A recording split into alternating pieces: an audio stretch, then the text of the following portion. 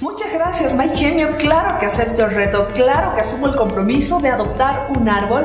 Felicidades más bien por esta gran iniciativa, este trabajo maravilloso de Fonabosque. Y mira, ya tengo acá mi acacia, eh, la voy a colocar en esta maceta tan linda. Eh, la adopto como parte de mi familia. Ya tiene nombre, se llama Pitita, Pitita Galarza, tiene el nombre de mi mamá, así que va a ser un árbol muy fuerte. Eh, el hecho de adoptar significa que hay que cuidarla, hay que protegerla, hay que estar pendiente de cómo va a crecer, cómo se va a desarrollar. Por eso es que felicito realmente esta maravillosa iniciativa, porque no se trata de plantar un árbol y dejarlo, eh, que corra su suerte. Lo importante es que todos estemos pendientes de cómo va a crecer y cómo va a ser de este un planeta mejor. A partir de este instante, yo también voy a retar a tres personas que yo quiero muchísimo.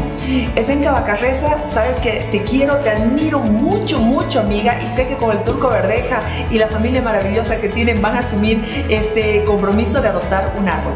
Juan Carana, gracias de verdad también a ti y a toda tu familia. Los reto para que adopten un árbol.